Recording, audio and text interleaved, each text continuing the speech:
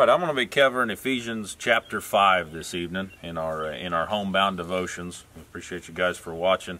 Um, I'll be talking a little bit about the light and the darkness. Um, I work at a at a co-op and we've got a grain elevator that's got a uh, it's got a man lift shaft in the middle of that thing that's like an elevator inside of an elevator, if you will. Um, but you get in that thing and you get in a little cage and you push a button and it raises you all the way to the top. This thing's about 100, 110 feet tall probably of, of the actual cage itself. And, and when you start into that, you're pretty much in the daylight. Well, by the time you get halfway through that, it gets really, really dark in there. And, and, and about halfway through, the light can't reach. And you can be standing in there and have your hand right in front of your face and not see it at all. Um, it's just pitch black. There's no light shining in from anywhere and it's kind of neat to me you know always when i was over there a lot i always kind of enjoyed going up there with the light off and and just seeing how dark it actually got. And and the other side of that is that it's peaceful and it's quiet. Um, there's no cell phone service and there's no radio service. So you actually can get a quiet place while you're at work for just a couple minutes don't tell my boss that. But uh, you know you get in the middle of that and you're pretty much oblivious to what's going on outside you know, you, you don't even know what's going on in, in reality. You're pretty much in your own little spot and and you can't hear anything from that's going on out there. And it makes it, you know, it, it, once in a while it's kind of nice to just step away, to just step out of things and get back from that. But uh, I'm going to talk about a different kind of darkness today. I'm going to talk about a darkness that uh, that we're going to learn about here in Ephesians 5 that talks about a darkness of living away from Jesus Christ and living on our own and living in sin. Um, we'll start in verses 5 through 6 of chapter 5 here, and it says, uh, For this you know, that no fornicator, unclean person, nor covetous man, who is an idolater, has any inheritance in the kingdom of Christ and God. Let no one deceive you with empty words. For because of these things the wrath of God comes upon the sons of disobedience. Therefore, do not be partakers with them. You know, this talks about people that are living in darkness and that are not turning to Jesus. These are people who will face the wrath of God. Um, you know, John 3, chapter 3, verse 36 tells us that uh, the, he who believes in the Son has everlasting life and he who does not believe the Son shall not see life, but the wrath of God abides on him. Romans 6:23 says, "For the wages of sin is death, but the gift of God is eternal life in Christ Jesus our Lord." You know, and, and then we move on here in Ephesians in Ephesians 5 to, to verse number 8. and verse 8 says that we are called to be the light of Jesus to everyone. You know, we were once darkness, so we should know where these people are coming from that are living their lives in sin. You know, it talks about this this death, this uh, this eternal death in hell. Talks about that in uh, Matthew 22:13 and and in Matthew 25:30.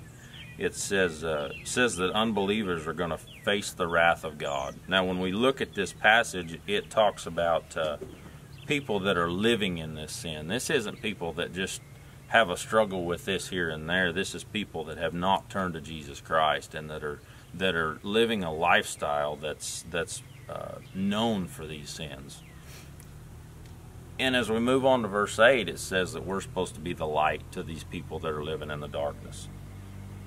Um, you know, it says to walk as children of light and to practice fruits of the Spirit. You know, the whole list of the fruits of the Spirit are, are written out in Galatians 5 22 to 20 through 23.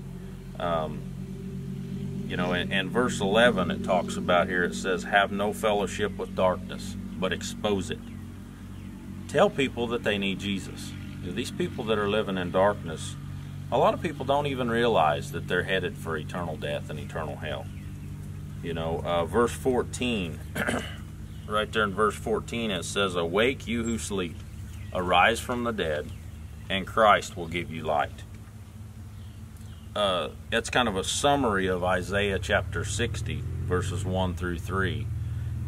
and it pretty much means to rise and shine. You know, we've heard that in, in people when they wake up in the morning. Let's rise and shine. Um, you know, this is uh, talking about a call to action here to get up and move, get up and do something, get up and do what we're called to do. So that brings us to the next question How do we be the light? How are we supposed to be the light? You know, and, and I figured I'd just go ahead and sing for you this little light of mine, the children's song. But then I asked some people, and they said maybe I should probably not, and that would be better. I don't know why, but um, I guess we'll move back to verses 1 and 2 here and start looking at what it means to be the light. And it tells us here in verses 1 and 2, it says, Therefore be imitators of God as dear children, and walk in love as Christ also has loved us and given himself for us, an offering and a sacrifice to God for a sweet smelling aroma. You know, the first point is to be imitators. Imitate God. you know, we're supposed to imitate God and be like Him, and it compares it to children in, in the Bible here as we imitate. And, and you start looking at your kids, and most of the time, what we see in our kids is they imitate the selfish side of us or the uh, anger side of us, the sinful side of us that we show a lot of the time when we're at home with our family, which a lot of people have been for quite a while lately. Um, I think of you know Dave's analogy the other night of the roller coaster that the kids were building, and and I I see that in my kids from time to time is the anger side of when things don't go wrong and I want to throw things.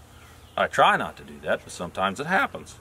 Um, you know the bad attitudes that we have, the the negativity that we have so many times. That's what our kids pick up on. That's what our kids imitate. The neat thing is, is who we're supposed to be imitating. He doesn't have any of those things. That's Jesus Christ. And he lived a perfect life. We're supposed to walk in love just like Jesus did. We're supposed to give our all just like Jesus did. You know, Jesus sacrificed himself for us. He gave his whole life. He lived a perfect life and he died a death for us. Do we sacrifice at all for those that are living in darkness? Do we give of ourselves at all? Do we even remotely care what's going on with them. And some days we fall and we don't. But we're called to. We're called to be the light in the darkness. You know, verses 3 and 4, it says, uh, But fornication and all uncleanness or covetousness, let it not even be named among you, as is fitting for saints. Neither filthiness, nor foolish talking, nor coarse jesting, which are not fitting, but rather giving of thanks. You know, it's saying don't be known for living in sin. You know, do you know people that uh, they go to church every Sunday, they go to every service, they go to all these different things, and and they and they tell people about Jesus. But when you run into somebody on the street, they say, "Well, I'm not coming to that church because such and such goes there, and he's not a nice person. She's not a nice person." They live like this all week long, and then they go to church, and then they tell us what they did at church, and then they live like this all week. I've been that person. I know what that's like. We need to stay away from that. We need to be true. We need to be known for living for Jesus Christ, for living to serve others, for living to do our best to draw people out of that darkness and bring them into the light of Jesus. You know, we all sin. We all have our faults. We all have our weaknesses. Um, some some fight with things that are inside, some fight with things that are outside. You know, it even goes down to the thoughts we have. And sometimes we can sin in the thoughts we have in the in the strangest places that you'd never think you would.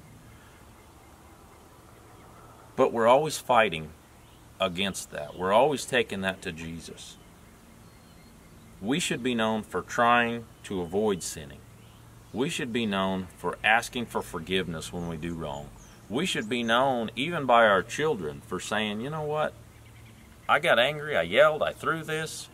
I shouldn't do that. That's not a righteous anger. You know, we should be known for owning up to the sin that we commit and bringing it to the foot of the cross. We bring it to Jesus and drop it off.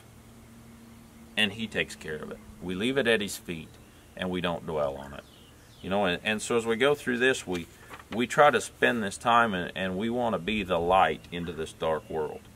Um, you know, if you're hearing this message and you're living in sin and darkness, You feel like there's no hope. You know, there's a lot of people that are feeling pretty hopeless right now. You don't even feel like you have anyone to turn to. You know, so many people are stuck at home and they're stuck by themselves and they can't get out and they've got issues that they can't deal with. Remember, in the middle of that man lift, when it's the darkest point that I was talking about, there's a switch right there on the side of that basket. And you flip that switch and it chases that darkness away. You get back to the full light. Now it's not it's not the uh, it's not the the light from the outside. It's a man-made light, but nonetheless it chases the darkness away. That's the same thing we have in Jesus. We don't have to make a big drastic change. We don't have to go to a certain place. We don't have to uh, jump through 17 hoops. All we've got to do is talk to Jesus.